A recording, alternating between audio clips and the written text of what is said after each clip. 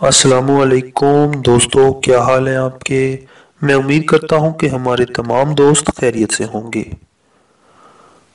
तो दोस्तों, हमेशा की तरह आज भी मैं आपके लिए एक रिश्ता जो है वो लेकर आया हूँ। तो ये जो खातून जिनका रिश्ता है, इनका नाम इफ़त बीबी है। उम्र जो है इनकी वो उनतालीस साल है, थर्टी नाइन ईयर्स और ये एक तलाक याफ्ता खातून है। तीन साल पहले जो है इनकी तलाक हुई थी मुसलमान है फिरका सुन्नी है इनकी कास्ट जो है ये मलिक आवान बरादरी से इनका ताल्लुक है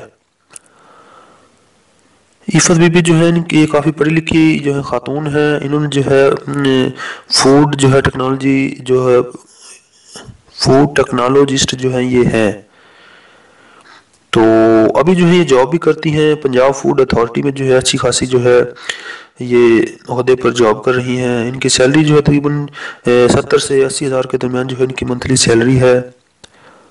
काफ़ी अच्छे ख़ानदान से हैं, मुसलमान हैं, फ़िरका सुन्नी है। इनकी जो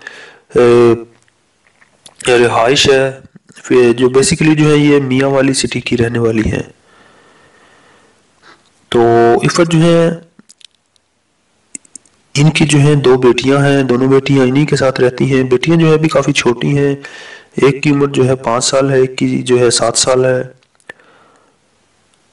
तो अभी जो ये चाहती हैं दोबारा से शादी कर लें तो इसी सिलसिले में जो है इनको किसी ऐसे रिश्ते की तलाश है कि लड़का जो हो, उसकी उम्र जो है वो पैंतालीस साल से ज़्यादा ना हो, वो पहली या दूसरी शादी करना चाहता हो। इसके अलावा ज़ात बरदरी कोई भी हो, पाकिस्तान के किसी भी शहर में रहता हो, थोड़ा बहुत पढ़ा लिखा लाजमी होना चाहिए। तो हमारे दोस्त मर्द हजरात जो शादी करना चाहते हैं, ऐसी किसी फैमिली में, वो बर मेहरबानी अपनी तमाम तफसीत के साथ अपना व्हाट्सएप का नंबर वीडियो के नीचे कमेंट बॉक्स में लिख दें। अगर आपकी प्रोफ़ाइल जो है, इफ़त बीबी को जो है पसंद आई तो हम आपसे ज़रूर रबता करेंगे।